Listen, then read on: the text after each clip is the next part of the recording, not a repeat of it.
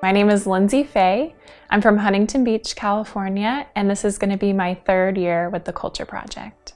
I was born in Ohio, moved out to Huntington Beach in second grade with my family. Um, really just had a desire, I think, from that early age to fit in and to be liked towards the end of high school, what that meant was going out to parties and drinking and like the party culture. And then when I went off to college, I was kind of still looking to fit in, looking to find community. I think it was like my second weekend of college. I like rushed the sorority and joined. And I just remember like making a lot of mistakes and really quickly seeing kind of the emptiness of that lifestyle seeing the emptiness of the hookup culture. But I remember there was at one point in my sorority where I was in a meeting and I looked around the room at all these girls and I just remember thinking, I don't have one honest friend in this room. Like I just feel like I don't know any of these people.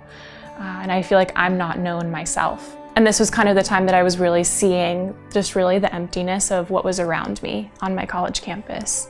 And I was like, well, I need to change this. There was a girl that I met and she was living out chastity in her relationship and I just remember wanting what she had and just seeing her and seeing her boyfriend and the way that they lived and the way that they loved each other and wanting that. And I remember really wanting to make that decision to choose better for myself, uh, to not being used, but to really, really being loved and being respected and valued. Um, and that led me out of that hookup culture on my campus and really into a community that really loved me and saw me for who I was. And that really led me in one way or another to a lot of healing through the theology of the body and learning about that and then uh, meeting the Culture Project missionaries and then seeing this community of people who really loved each other and really accepted each other and, and brought each other into this family.